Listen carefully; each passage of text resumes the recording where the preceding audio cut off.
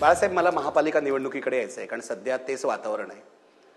आणि या महापालिका निवडणुकीविषयी जे आरोप होतात वगैरे तुम्ही उत्तर देतायत सभामधून. मला तुम्हाला घेऊन जायचं आहे एकोणीसशे अडसष्ट साल. एकोणीसशे अडसष्ट साल हे शिवसेनेच्या आयुष्यातलं सगळ्यात महत्त्वाचं वर्ष अशासाठी आहे. की मला आठवतं आहे त्यावेळेला मी आठ नऊ वर्षाचा होतो. आणि शिवसेनेने महापालिका निवडणुकीत मोठा विजय मिळवला होता. पहिल्यांदाच तुमची प्रजा समाजवादी पक्षाची युती होती आणि तुमचे बेचाळीस नगरसेवक पहिल्यांदाच निवडून आले होते आणि शिवसेनेचा भगवा मुंबईमध्ये अक्षरशः विजयी झाला होता. ती महापालिका निवडणूक आणि आजची महापालिका निवडणूक काय फरक दिसतोय तुम्हाला? त्यावेळेला बटणं दाबली की एकाच पार्टीला मतं जात नव्हती. आज जशी होत आहेत तशी. आता हे बटनाचं राज्य सुरू झालेलं आहे. बटन दाबलं की एका पार्टीकडे मतदान. काल परवाकडे जन्मास आलेले पक्ष लाखा लाखाच्या आघाड्या घेतं कसं याचा विचार होणार आहे की नाही?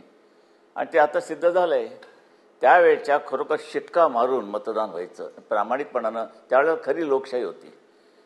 आता लोकशाही म्हणजे खलास झाली संपलेली आहे. कसली लोकशाही हो? बेकार. तुम्हाला असं वाटतं की या सगळ्या मतदान यंत्रामध्ये गडबड आहे? हो आहे. निश्चित आहे.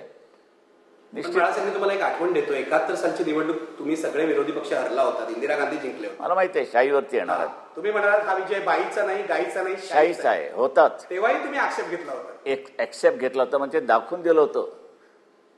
मतदानाचा शिक्का मारलेलं काही सॅम्पल्स आम्ही दाखवली त्यांना पुढे ठेवली.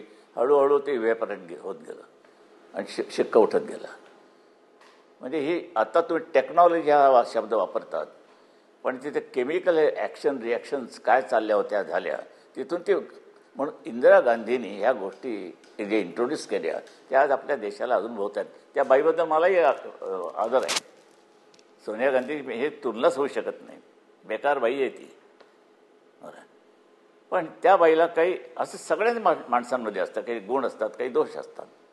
तुम्हाला असं वाटतं इंदिरा गांधींनी या देशातल्या लोकशाही संस्था संस्था संस्थांवर हल्ले केले त्यांचा पाया कच्ची केला? शेवटी मद्य हेच चढतं असं नव्हे. बरं. मग ते कुठच्याही असो ते विस्की असो वाईन असो ब्रँडी असो अमुक असो काय असेल ते. सत्ता पण चढते डोक्यात जाते. नेतृत्व डोक्यात जातं. बरं. बाईच्या हातात सत्ता आल्यानंतर त्यांनी बघितलं एकूण सगळं वातावरण इतकं भयंकर आहे. सगळे कुचकामी आहेत. आता माझ्या काही ठाकरे भाषेत काय बोलायचं आहे सगळे जण लोकांना? जाऊ द्या. बोला बाळासाहेब मोकळेपणाने बोला. नाही मोकळेपणानं एक ते तोंडातनं शिवी येण्याची शक्यता आहे. आपण शिव्याही दाखवूया कारण तुम्हाला महाराष्ट्राने असं स्वीकारलेलं आहे बाळासाहेब. हो ना. मला स्वीकारलं का माझ्या शिवाय ना ते मला कळत नाही माहीत नाही. जाऊ द्या. आणि ज्या वेळेला देशामध्ये संप मोर्चे पेन डाऊन स्ट्राईक्स दांड्या सगळं सगळीकडे असे सोळे माहोल तयार झाला. कुठेतरी हा क- त्याच्यावरती एकंदर ता ताबा किंवा काबू यायला पाहिजे की नको. सामान्य जनता भरडली जात होते. बी एस टीचा संप बंबलला गाड्या रेल्वेचा संप. मग बाईने ती आणीबाणी आणली. त्या आणीबाणीवरती मी बोललेलो आहे छापून आलेलं आहे. पण तुम्ही वृत्तपत्रवाले मीडियावाले काय करतात? तुमच्या सोयीचं वाक्य फक्त वापरता आणि दुसरं उडून लावता काय झालं? मी काय बोललो होतो? ही आणीबाणी जर देशहितासाठी आणली असेल इंदिरा गांधीने तर त्याला माझा संपूर्ण पाठिंबा आहे. पण स्वतःची खुर्ची मजबूत करण्याकरता जर ती आणली असेल तर मी तीव्र त्याचा निषेध करतो. तीव्र निषेध करतो. हे वाक्य तेवढं काढलं वरतं भरलं. आणि त्याच्यावर तुम्ही हंटा अजून मला. इंदिरा गांधींना पाठिंबा दिला होता इंदिरा गांधींना पाठिंबा दिला होता. बाळासाहेब इथे मला तुम्हाला एक गोष्ट विचारायची आहे. म्हणजे तुमच्याकडूनच हे स्पष्टीकरण आलं पाहिजे जे आजपर्यंत आलेलं नाही. दिलं ना. नाही एवढंच नाही. मी तुम्हाला विचारतोय की हे तुम्ही वाक्य बोललात हे बरोबर आहे. पण तुम्ही याआधी पंच्याहत्तरला आणीबाणी जाहीर होण्याआधी जयप्रकाशांच्या चळवळीलाही पाठिंबा देण्याच्या विचारात होतात. विचार आणि जयप्रकाशांना भेटलो. तुम्ही जयप्रकाशांना भेटला हो. होता. त्या चळवळीला कमला प्रसादच्या घरी. कमला प्रसाद तेव्हा तुम्हाला वाटत होतं त्यांची इंदिरा गांधी विरोधी सरकार विरोधी चळवळ बरोबर आहे. हो मग? आणि मग तुम्ही इंदिरा गांधींना पाठिंबा देता दिलात. हा बदल कशामुळे झाला? बदल त्यानंतर नाही दिला. मी तुम्हाला सांगतो काय ते. माझ्या आयुष्यात असे काही क्षण येऊन गेले तुमचा विश्वास नाही बसणार. हीच मातोश्री. आणि एक दिवशी त्यावेळेला लढत होते फक्त गोयंका. रामनाथ गोयंका भेट हे लढत होते बाई म्हणजे इंडियन एक्सप्रेस. अग्रलेख लिहून बॅनर लावून संपूर्ण त्यांनी विरोध केला होता बाईंच्या त्या आणीबाणीला. आणि हे दिले असताना एक दिवशी सकाळी माझ्याकडे हे आले. रामनाथ साडेनऊ दहाचा सुमार असेल. रामनाथ गोयंका रामनाथ गोयंका बरं. त्यावेळेला तो स्पायरल जिना होता त्या त्या कोपऱ्यामध्ये. ते चढून आले पहिल्या मजल्यावर. म्हटलं रामदासजी आप आहे हाँ बालासाहेब से नर्वस झालेले डाऊन क्या बात है? क्यों इतने नर्वस लगते हैं?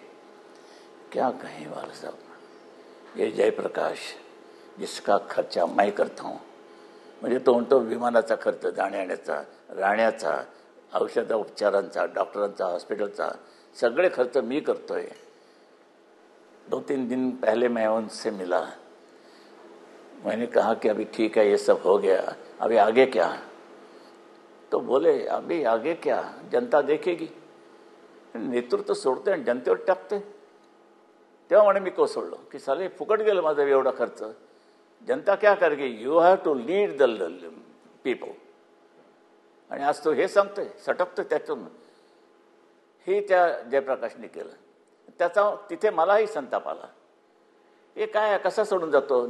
उद्या मी एखादी चढू हाती घ्यायची. सर्व जोळा सुरू झालेली आहे. परिणाम होऊ लागलेले आहेत. आता जनता बघून घेईल. अरे शेपूट नाही म्हणून काय? हे हे मलाही पटलं नाही. हे असे बारके बारके क्लॅशेस असतात राजकारणामध्ये. तुम्हाला ते सांगता येत नाही जाहीर बोलता येत नाही. म्हणून तुम्ही भूमिका त्यावेळेला बदलली. भूमिका नाही बदलली. म्हणजे इंदिरा गांधींना पाठिंबा दिला. नाही काही संबंध नाही त्याचा. कंडिशनल पाठिंबा दिला. कंडिशनल म्हणजे त्याच्यामध्ये काही आहे की नाही? अर्थपूर्ण आहे का बेकली आहे पण तुम्ही देशहितासाठी आणली असाल तर तुम तुम्हाला मी पाठिंबा देतो. आणखीन स्वतःच्या खु खुर्ची ही स्वतःची खुर्ची मजबूत करण्याकरता आणली असेल तर मी त्याचा तीव्र निषेध करतो.